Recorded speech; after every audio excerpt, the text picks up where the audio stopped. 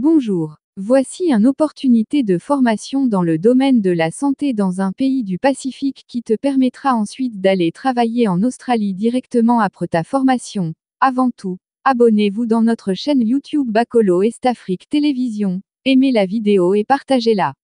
Oui, il est possible de prendre une formation dans un pays en Océanie et après avoir fini le cours d'être sélectionné directement pour un emploi en Australie. Aperçu du cours. Le cours CHC 3302 un Certificate 3 in Individual Support, Aging, Certificat 3 en soutien individuel. Vieillissement. Prépare les diplômés à travailler dans le secteur des soins aux personnes âgées. Cela implique de travailler dans le domaine des soins aux personnes âgées dans des services de soins aux personnes âgées en établissement ou dans des situations de soins à domicile.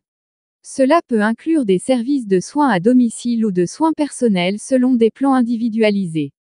Un travailleur des soins aux personnes âgées travaille directement avec les clients mais toujours sous supervision. Les personnes intéressées par un emploi dans le secteur des soins aux personnes âgées doivent savoir qu'il s'agit d'une carrière enrichissante mais physiquement exigeante. Les soins aux personnes âgées font une différence dans la vie des gens et offrent de nombreux parcours de carrière différents à mesure que vous évoluez professionnellement. Cependant, il convient également de se rappeler que les travailleurs des soins aux personnes âgées doivent s'agenouiller, pousser, tirer et rester debout pendant de longues périodes dans leur travail quotidien, ce qui nécessite force physique, forme physique et endurance. De nombreux employeurs exigeront que les candidats passent un examen médical avant de se voir proposer un poste, il est donc recommandé aux étudiants de développer et de maintenir leur santé physique et leur forme physique. Les possibilités de carrière possibles pour les diplômés comprennent aide-soignant ou assistant de soins à domicile, préposé ou assistant aux soins personnels, préposé aux soins résidentiels, aide-soignant, préposé de relève à domicile, préposé aux soins communautaires, préposé à l'hébergement ou au soutien communautaire et préposé au soutien.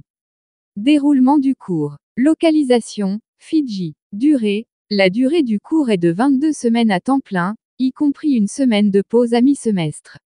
Les étudiants assisteront au cours pendant au moins 5 jours par semaine. Des heures d'études supplémentaires en dehors des heures de cours seront nécessaires. Mode de prestation, en face à face et en milieu de travail. La formation sera dispensée en anglais et comprendra un soutien en langue, en alphabétisation et en calcul, LLN. Placement professionnel. Dans le cadre de cette qualification, vous devez effectuer 120 heures de stage professionnel. Ce stage sera organisé par l'APTC et ces heures doivent être effectuées dans le secteur des soins aux personnes âgées. C'est une opportunité pour les étudiants de mettre en pratique les compétences et les connaissances acquises dans un environnement soutenu. Vous devrez peut-être travailler en alternance de jour et d'après-midi pour effectuer ces heures de stage professionnel. La réalisation du stage est obligatoire et vous devrez gérer vos engagements familiaux et professionnels afin de terminer vos heures de stage. Remarque, il est obligatoire pour cette qualification de compléter une vérification des antécédents criminels. Frais de cours. Les frais de cours s'élèvent à 2100 dollars de Fidji, ou soit 930 dollars américains.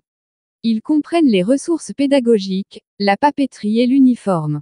Le gouvernement australien subventionne le coût du cours, y compris le matériel et les consommables.